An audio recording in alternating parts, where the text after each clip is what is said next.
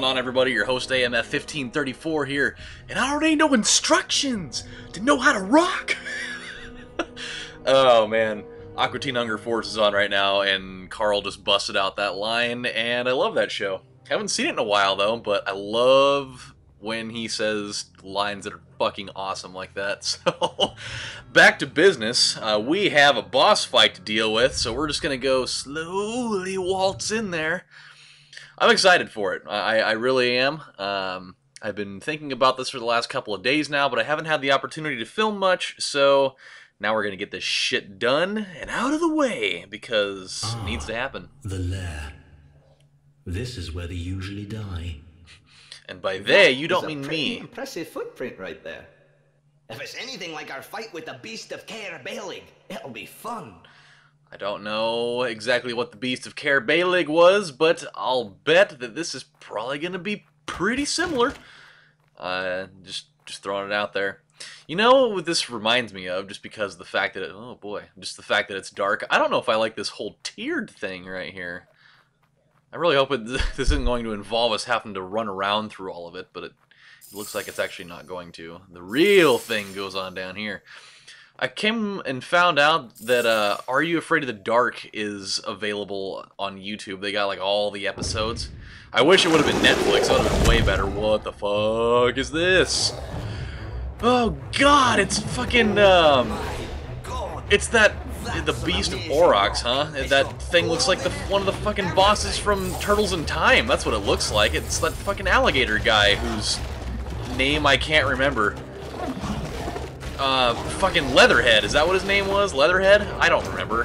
I think it is. Ooh, shit.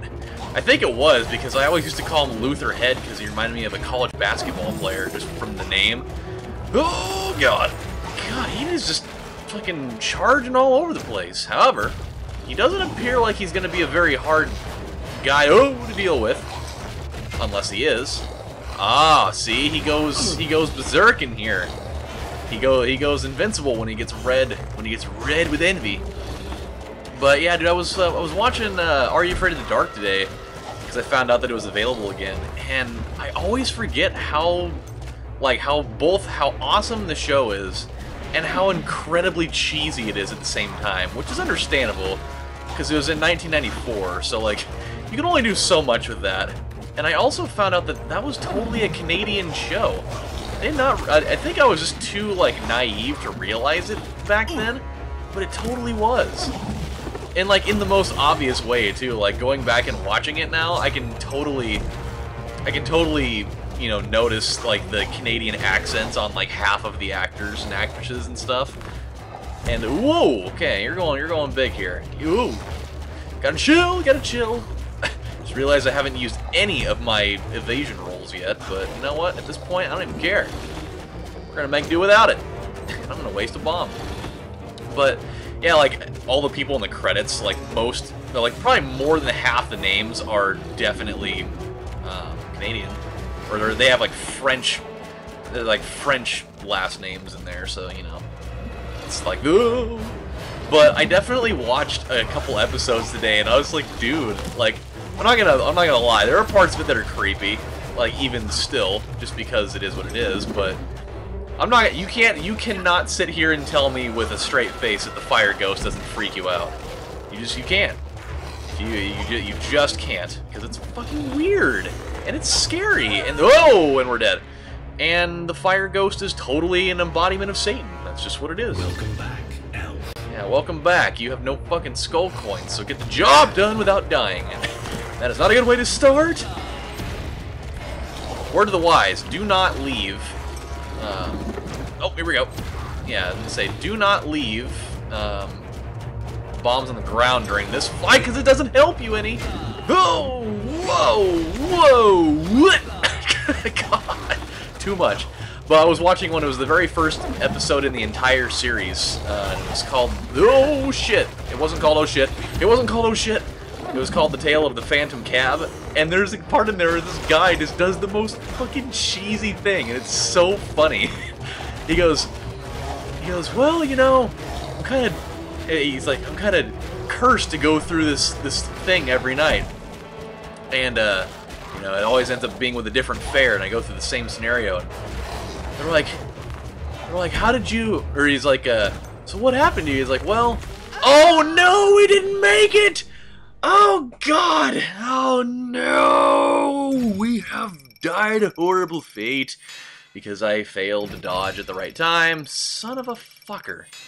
We're gonna be okay.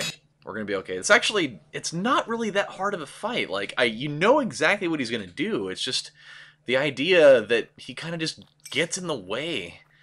Like he just, he just overpowers you completely. That's that's the part that gets me. He just charges you and like sometimes you get deer in the headlight syndrome and you're just like, oh, he's coming for me.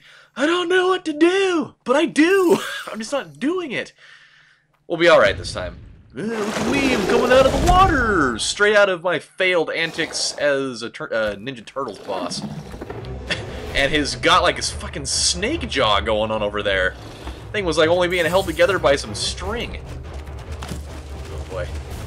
Yeah, I'm not I'm not gonna fall for your bullshit this time, buddy.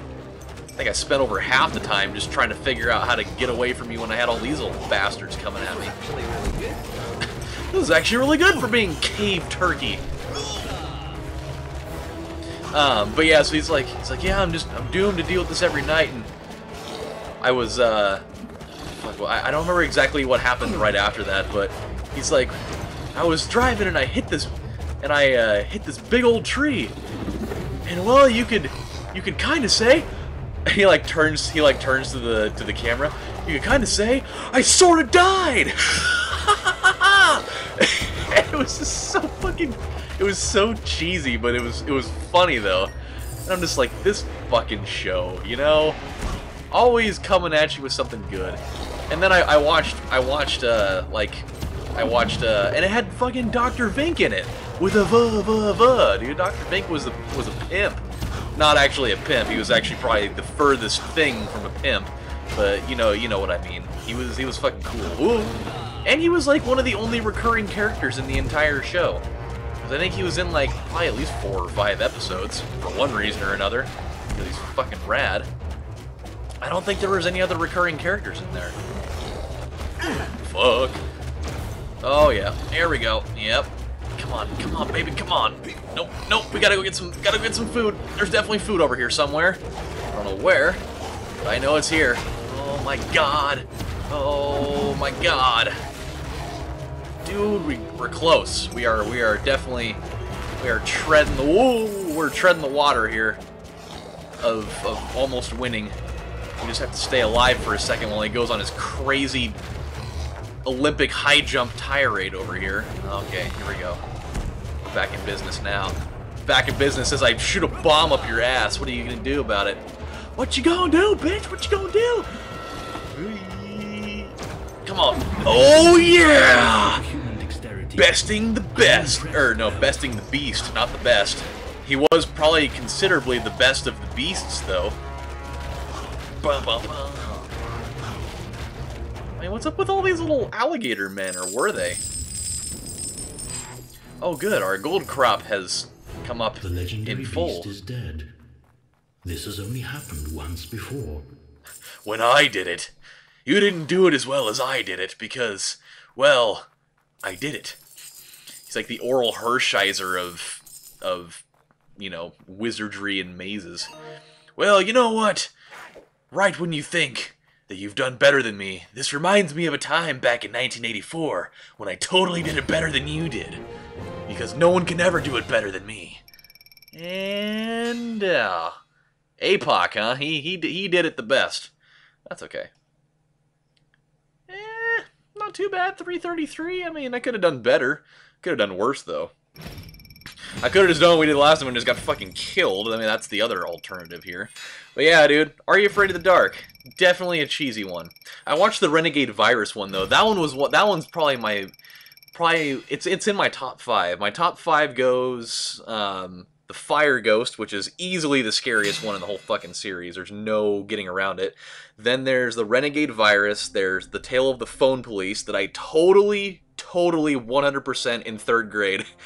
I, we had to write a creative, uh, creative writing essay about anything of our choosing, and it, and I totally actually rewrote the entire story of the phone police and got an A plus on it because she thought that it was me and not something that I ripped off from TV, but that's a different story. I'm a bastard like that, I know. And that's sometimes just how it's got to happen. Okay, so we can definitely do buy this thing for 12,000, which is sick because when I get enough gold to do it, I'm totally going to do it. Um, but yeah, and then let's see, there's also um, Station, The Tale of Station 109.1, which strangely enough had Ryan Gosling in it.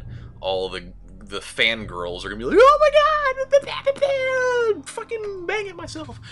Um, and then after that, probably ooh ooh okay yeah definitely the uh, the tale of uh, Dead Man's Float. That one was pretty creepy. That one always kind of makes me feel uncomfortable. So, all right, well. Here's the here's the thing, guys. I was I was only hoping to get through that boss fight tonight, but when we come back next time and let's play the next episode of Gauntlet, we uh, we unlocked tier three down here.